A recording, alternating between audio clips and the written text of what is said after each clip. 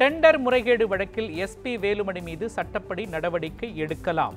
தமிழ்நாடு அரசுக்கு சென்னை உயர்நீதிமன்றம் அனுமதி. ஜெயலலிதாவின் கனவு நனவாக அதிமுக தொண்டர்கள் ஒன்றிணைய வேண்டும். வைத்திலிங்கம் இல்ல திருமண விழாவில் ஓ பன்னீர்செல்வம் பேச்சு. ஜெயலலிதா ஆட்சியை மீண்டும் கொண்டுவர ஓபிஎஸ் உடன் இணைந்து செயல்படுவேன். அமமுக பொதுச் செயலாளர் டிடிவி தினகரன் பேச்சு.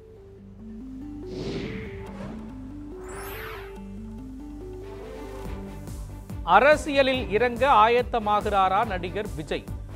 பொதுத் தேர்வில் அதிக மதிப்பெண்கள் பெற்ற மாணவர்களுடன் ஜூன் பதினேழில் சந்திப்பு.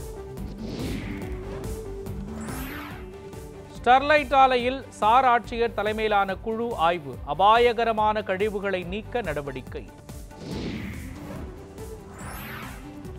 பழங்குடி மாணவனுக்கு சாதி சான்றிதழ் வழங்காமல் அலைக்கழிப்பதாக புகார்.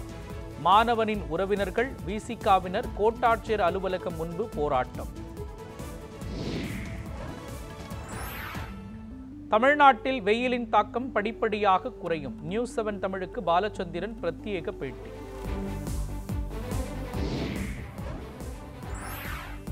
உலக டெஸ்ட் சாம்பியன்ஷிப் கோப்பை யாருக்கு? இந்தியா ஆஸ்திரேலியா அணிகள் இன்று பலப்பரீட்சை.